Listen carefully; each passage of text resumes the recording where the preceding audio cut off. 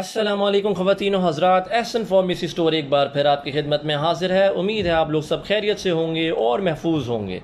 Video کو start کرنے سے پہلے میری آپ سے ریکویسٹ ہے کہ چینل کو سبسکرائب کر دیں اور بیل آئیکن کو بھی ہلکا سا ٹچ کر دیں۔ ہمارے اس چینل کا مقصد آپ کو بیسٹ ہیلتھ کیئر ایڈوائس دینا ہے اور میڈیسن کے افیکٹس اینڈ سائیڈ افیکٹس بتانا ہے۔ لفلاکس ٹیبلٹ کے بارے میں ہونے والی آپ سے تفصیل سے بات ویڈیو کو اینڈ تک ضرور دیکھیے۔ بہت انفارمیٹیو ویڈیو ہے، تو چلتے ہیں ویڈیو کی طرف۔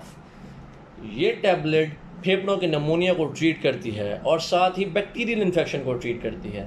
یہ پیشاب کی نالی، گلے میں گٹھلیاں بن جانا یا ان کا سوج جانا، ہڈیوں، ناک، گلے، جلد کے ٹیشوز اور پھیپڑوں کے نمونیا کے انفیکشن میں یہ ٹیبلٹ بہت مفید ہے۔ مطلب آپ کو کچھ بھی ایسا ہے، جیسا میں نے بتایا، آپ یہ ٹیبلٹ استعمال کریں، انشاءاللہ بہت مفید ثابت ہوگی آپ کے لیے۔ خواتین و حضرات آپ یہ ٹیبلٹ لیتے ہوئے زیادہ سے زیادہ پانی پئیں۔ وجہ یہ ہے کہ پانی کی وجہ سے کرسٹلز نہیں پیدا ہوں گے پیشاب کے اندر۔ گردے اور جگر کے مریض والے پیشنٹ ڈاکٹر سے رجوع کر کے استعمال کریں، ڈاکٹر سے مشورہ کر کے استعمال کریں۔ یہ ٹیبلٹ سات سے چودہ دن کے لیے استعمال ہوتی ہے فور نمونیا پیشنٹس۔ بچوں کے لیے ٹو ففٹی ایم جی والی ٹیبلٹ استعمال کی جائے۔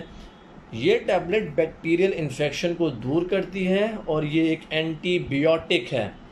سائیڈ افیکٹس کی بات کریں خواتین و حضرات تو بہت کامن سے ہیں۔ سر میں درد ہو جاتا ہے، نیند آ سکتی ہے، متلی متلی کا ہونا پیٹ میں درد ہو سکتا ہے، موشن بھی لگ سکتے ہیں۔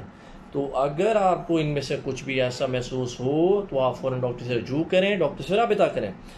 خواتین و حضرات پریگننسی میں یہ ٹیبلٹ سیف نہیں ہے بچے کے لیے مسئلہ ہو سکتا ہے، بچے پر افیکٹ آ سکتا ہے۔ اور بریسٹ فیڈنگ میں بھی یہ سیف نہیں ہے۔ تو امید ہے آپ کو یہ میری ویڈیو پسند آئی ہوگی۔ فیڈ بیک ضرور دیں کمنٹ کر کے آپ کچھ بھی پوچھ سکتے ہیں۔ ڈاکٹر کنسلٹڈ مشورے کے لیے ہم ہمیشہ آپ کے لیے موجود ہیں۔ جزاک اللہ۔